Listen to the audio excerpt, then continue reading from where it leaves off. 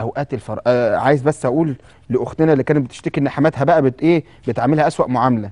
عشان أنت رضيتي أن تكوني مهانة مش معنى إن أنا أخدم حمايا وحماتي إن أنا أقبل إن أنا أتشتم أو أهان.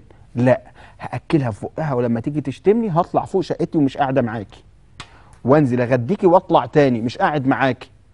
مش ده مبرر برضو إن أنت تعملي زي سلايفك بقى وتشتميها. لا أنت ما تشتميش أنت مؤدبة. هلاقيها هتشتم هتدعي على أولادي مش هقول لها أهو انت لا. هقوم مخلصه الأكل وأحط الأكل وإذا كنت أنا متعودة إن أنا أرص الأكل على الترابيزة كلون من ألوان الاعتراض. هسيب الأكل في الحلة وقت ما تحبي تاكلي كلي لكن لو هي ما تقدرش تساعد نفسها هأكلها من غير ما أفتح بقي بكلمة. إزيك يا بنتي؟ ماشي.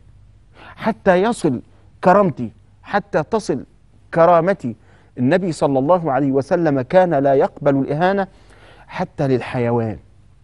حتى للحيوان مش معنى إن الحيوان ما بينطقش.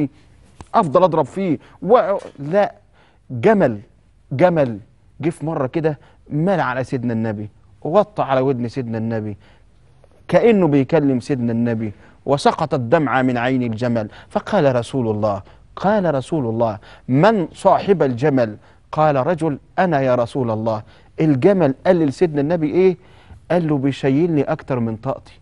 بيجي كده يحمل العربية الكر ويجي عند المطلع ويا عيني الحمار أو الفرس مش قادر يطلع وهو عمال يديله. فالجمل قال لسيدنا النبي ما بيأكلنيش وبيشيلني بيشيلني أكتر من طاقتي. فقال له رسول الله يا صاحب الجمل أحسن إلى جملك.